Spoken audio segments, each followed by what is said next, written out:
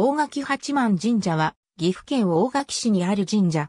本来は八幡神社が正式名だが、通称の大垣八幡神社で知られている。大垣市の総鎮守。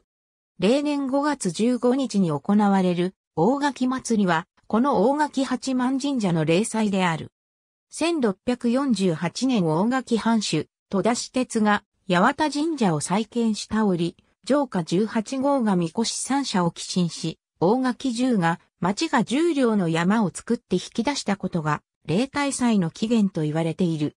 1334年、東大寺の荘園大井僧であった美濃国安八軍、大井に、東大寺の鎮護神である、田向山八幡宮を勘定したのが、始まりという。1451年6月、社内院長住が、現在の大垣市街、川町の地に潜座し、社内大々別当職となり大垣町及び、金棒18号の僧者と称した。1546年平殿、拝殿、毎殿が建てられ、1648年、大垣城城主、戸田市鉄が再建整備する。この再建を祝って始まった霊祭が大垣祭りの始まりという。1945年7月に大東亜戦争による米軍の空襲により、社殿が消失した。消失した社殿等は氏子により、1951年本殿復興。1954年拝殿復興。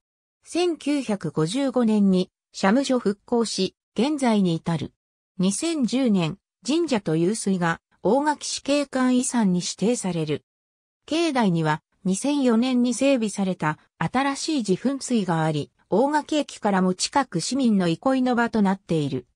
地下125メートルから吹き出る井戸と、あずま屋は、大垣南ライオンズクラブの記念事業によるものである。大垣市ウェブサイト内のワクワク湧き水マップにも紹介されている。